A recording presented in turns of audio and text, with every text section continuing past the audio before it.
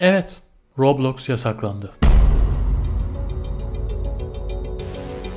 Önce Instagram, şimdi ise Roblox. Peki sırada ne var?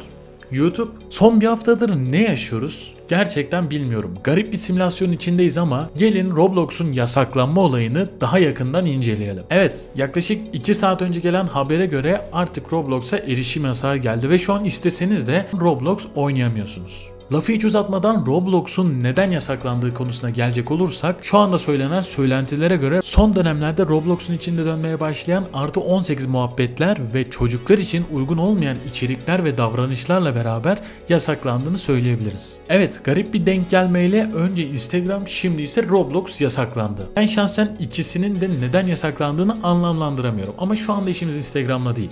Roblox konusuna gelecek olursak madem Roblox'ta dönen bir artı 18 muhabbet var ve çocuklara uygun olmayan bir şeyler var. Peki bu durumda oyuna yaş kısıtlaması getirmek veya oyunu kontrol altına alabilmek varken oyun direkt yasaklanıyor. Her neyse Türkiye gündemine bomba gibi düşen bu Roblox'un yasaklanma haberinden sonra insanlar ikiye ayrıldı. Bir taraf zaten Roblox'u küçük çocuk oyunu bulduğu için dalgaya vuran taraf oldu. Yani kardeşim çok üzgün şu anda Roblox oynayamayacağı için ağlıyor falan filan diye dalga geçen bir taraf. Diğer tarafsa zaten gününün çoğunu Roblox'ta geçiren ve Roblox'u gerçekten de çok seven bir tayfa. Aslına bakarsak ben de ilk taraftayım. Yani Roblox'un kapanması beni çok çok üzen bir şey değil.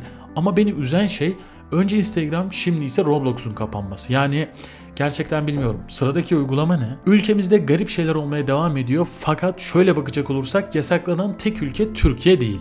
Roblox'un erişime kapalı olduğu ülkeler Türkiye'de dahil olmak üzere Çin, Ürdün, Kuzey Kore, Umman, Birleşik Arap Emirlikleri ve Guatemala diye doğru düzgün okuyamadığım bir ülke. Dediğim gibi Roblox'un kapanma sebebi hakkında şu anda %100 bir bilgi yok ama söylentilere göre yani %80-90 ihtimalle Roblox'un içinde dönen artı 18 muhabbetler ve çocuklara uygun olmayan içeriklerden dolayı Roblox şu anda yasaklandı. Bakalım ilerleyen zamanlarda nasıl açıklamalar gelecek? Hem yetkililerden hem oyunculardan hem farklı insanlardan medyadan nasıl bir tepki gelecek ve bu tepki sonrasında Roblox açılacak mı? Aynı şekilde Instagram belki bundan sonra ne olacak? Her şeyi hep beraber gözlemleyeceğiz. Gelişmelerden haberdar olmak için videoyu beğenmeyi ve kanala abone olmayı unutmayın. Ayrıca sizin de bu konu hakkındaki fikirlerinizi oldukça merak ediyorum.